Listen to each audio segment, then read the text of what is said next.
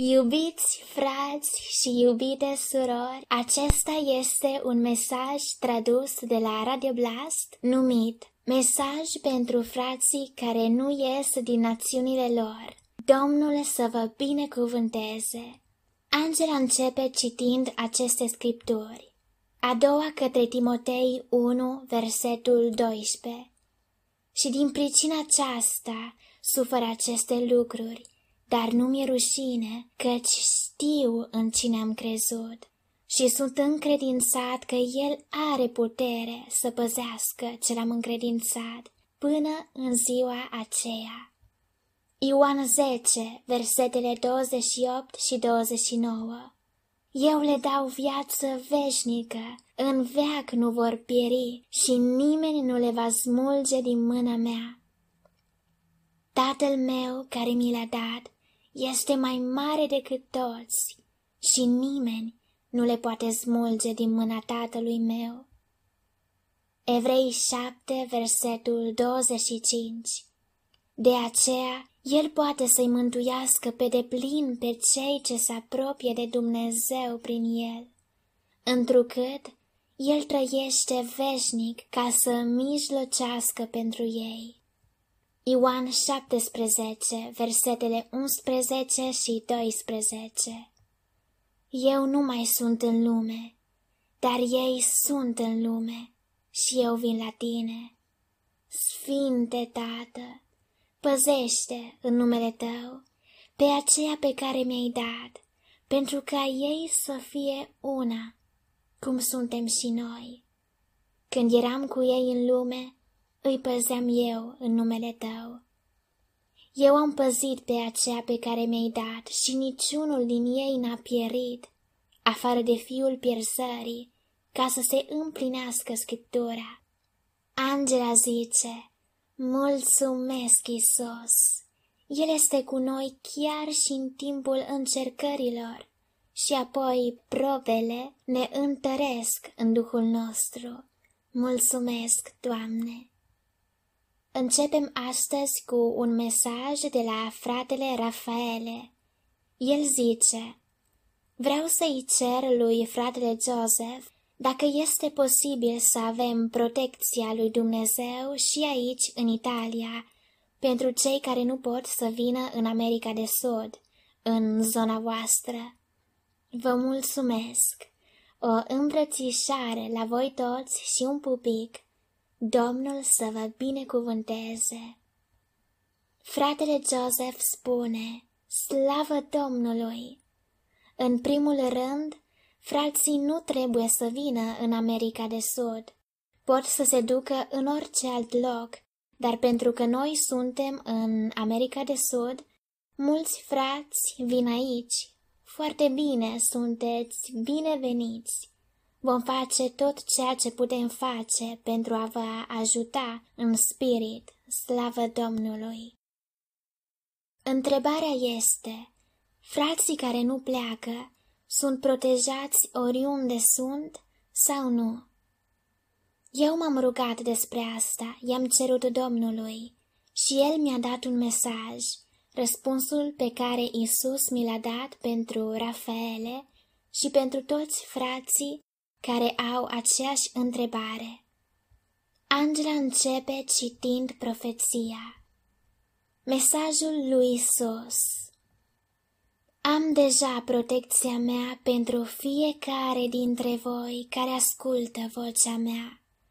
Nu aveți de ce să vă temeți, nici măcar copiii mei care vor suferi și care vor da viața lor ca martiri nu au de ce să fie îngrijorați. Sufletul lor este în mâinile mele, protecția mea este în viață și în moarte, mereu vă protejez. V-am arătat în cuvântul meu ce să faceți în vremuri grele, ca necazul care vine. V-am arătat că femeia, biserica, are un loc pregătit în deșertul spiritual. Deșertul sunt acele locuri care nu sunt comune creștinismului, locuri unde va fi ușor să vă ascundeți. La fel ca profetul meu Ilie, care l-am trimis să se ascundă printre păgânii din Sidon, sau ca, ca familia mea pământească, care s-a ascuns de Irod, printre păgânii Egiptului. Acestea sunt locurile în pustie, unde am pregătit adăposturi pentru voi, poporul meu, din acest timp al sfârșitului.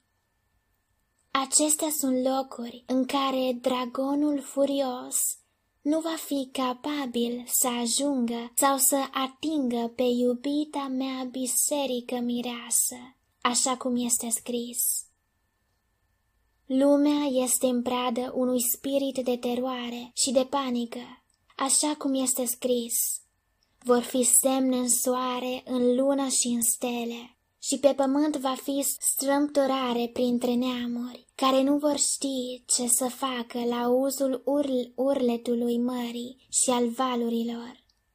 Oamenii își vor da sufletul de groază în așteptarea lucrurilor care se vor întâmpla pe pământ, căci puterile cerurilor vor fi clătinate. Dar voi nu vă temeți, voi uitați-vă la mine sunt Dumnezeul vostru și vă protejez și sunt cu voi până la sfârșit și nu vă părăsesc. Eu sunt adevăratul păstor și am grijă de voi, în viață și în moarte. Oriunde ați fi, dacă îmi căutați fața, voința mea, o veți găsi dar este necesar să mă căutați cu toată inima și cu tot sufletul. Numai atunci mă veți găsi. Acesta este motivul pentru care cei ce sunt pe jumătate de inimă nu pot asculta vocea mea, nici să aibă comuniune adevărată cu mine, pentru că eu caut cei care mă adoră în duh și în adevăr pentru că eu sunt Duh și adevăr.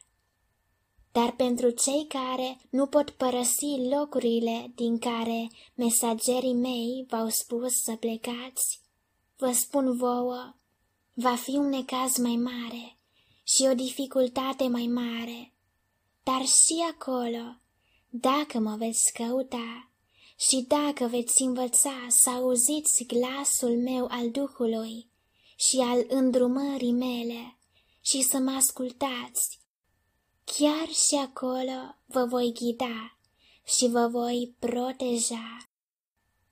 Mulți sunt îngrijorați și se roagă, unde voi merge, la cine să mă duc, cine mă va ajuta, cu cine voi merge.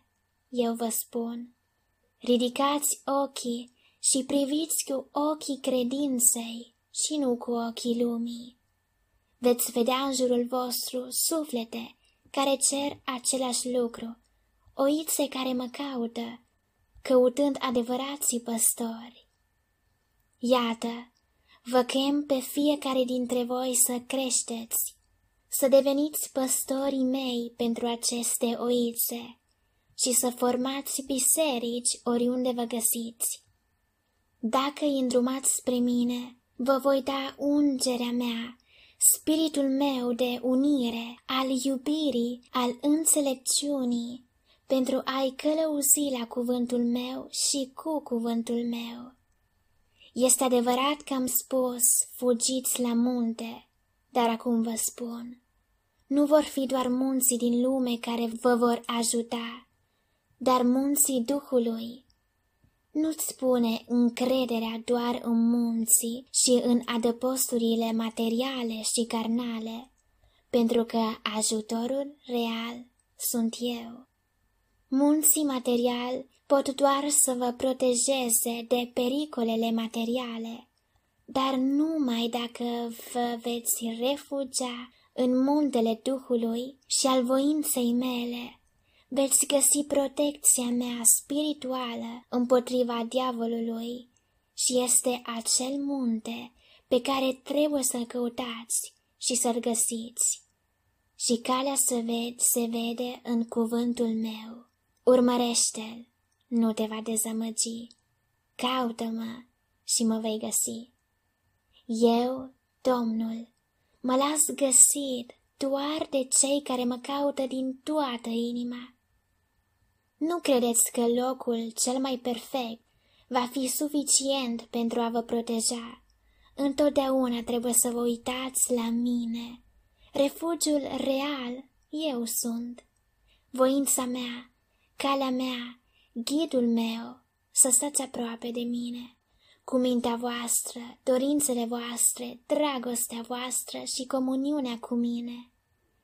Veți găsi voința mea și îmi veți asculta vocea, nu prin studii de teologie umană, ci numai în dragostea voastră pentru mine și ascultarea față de poruncile mele.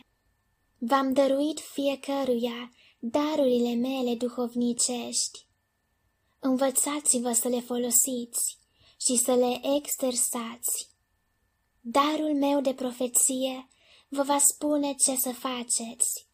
Darul meu de discernământ vă va învăța să evitați capcanele inamicului.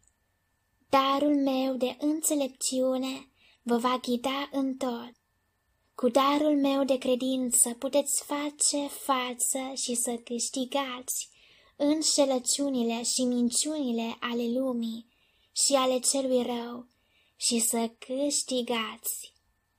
Practicați darurile mele de vindecare și minuni, așa numai o să aveți nevoie de medici și medicamente din lume și să obțineți tot ce aveți nevoie, fără semnul fiarei care are să vină. Amintiți-vă ce v-am spus în cuvântul meu. Cine este tatăl acela dintre voi care, dacă îi cere fiul său pâine, să-i dea o piatră? Cu cât mai mult Tatăl vostru cel din ceruri va da Duhul Sfânt celor ce-i cere.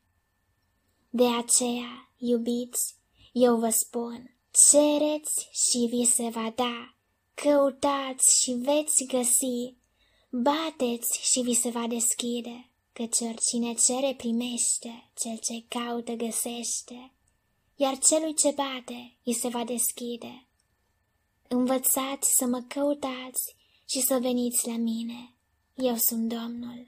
Pot și vreau să vă dau tot ce aveți nevoie, dar veniți în credință. Nu permiteți îndoielile ale celui rău să vă oprească, dar distrugeți minciunile sale cu adevărul meu, întunericul său cu lumina mea, atacurile sale cu puterea pe care v-am dat-o. Eu sunt Domnul. Este ceva greu pentru mine.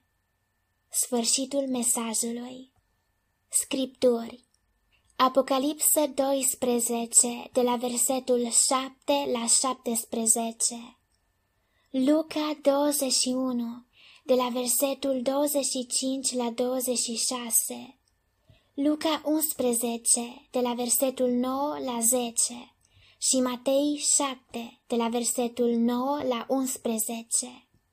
Angela zice, frumos mesaj! Deci, frate Rafaele și toți voi care vă cereți dacă este protecție în Italia sau în alte zone a Europei, Domnul zice că ceea ce El ne cere este o inimă dedicată complet Lui și Isus niciodată nu ne va lăsa.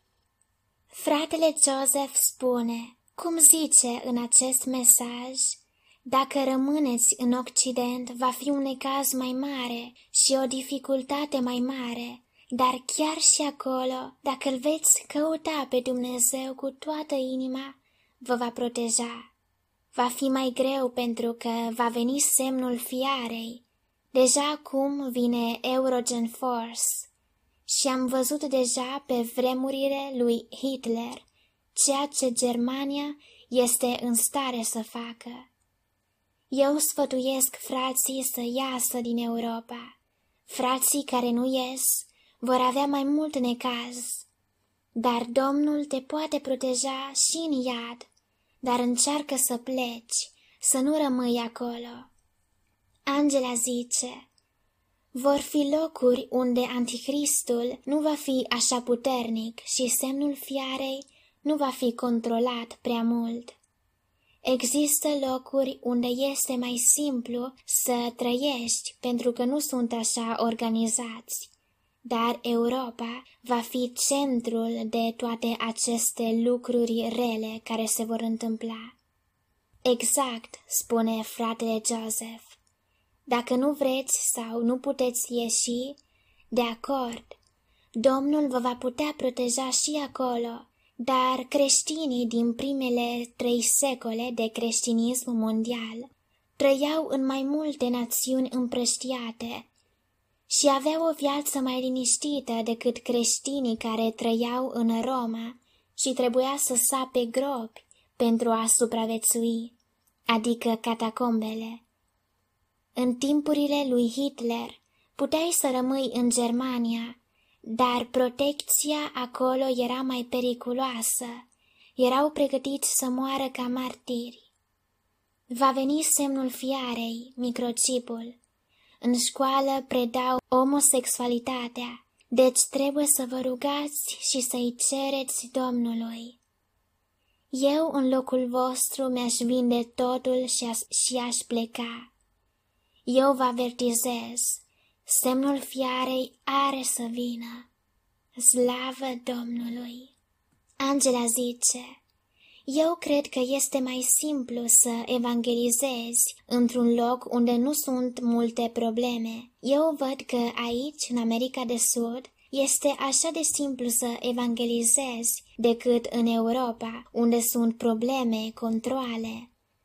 Fratele Joseph zice, Spre exemplu, noi uneori punem în YouTube-ul nostru melodii creștine și unicul loc unde este blocat este Germania și peste puțin Germania va pune aceste legi în toată Europa. Considerați bine costul, calculați credința. Amin. Angela zice, Acum vreau să spun că am primit multe mesaje de la frații noștri care ne întreb cum merg aici întâlnirele în zona noastră. Și în două cuvinte pot să spun că fratele Joseph face reuniuni periodice unde ne întâlnim ca să învățăm împreună cuvântul lui Dumnezeu. El cu Deborah fac și reuniuni individuale cu acei frați care doresc o îndrumare particulară sau au întrebări private, pentru că uneori este mai simplu să vorbești cu o femeie decât cu un, băr- cu un bărbat, așa că soția lui, Deborah, și ea ajută. Sau poate au întrebări cu privire la locurile mai bune, mai sigure, unde pot să se ducă, să închirieze o casă, să găsească de muncă, deci sfaturi personale. De multe ori facem comuniunea împreună. Cântăm, mâncăm împreună, este foarte frumos. Frații care pot, dacă doresc, pot aduce une lucruri îmbrăcăminte, mâncare sau alte lucruri utile care le pot da fraților precum au nevoie, ca să ne ajutăm între noi, cine vrea. Amin, slavă Domnului! Angela zice, vreau să-ți dau răspunsul lui Rafaele, care ne-a scris acum, Binecuvântat să fie Domnul și Mântuitorul nostru Isus Hristos, pentru că prin fratele Joseph ne arată calea după cuvântul scris. Amin. Angela și Joseph zic, Amin, ochii spre Isus. O îmbrățișare, Rafaele. Mulțumesc, frații mei! Domnul să vă binecuvânteze!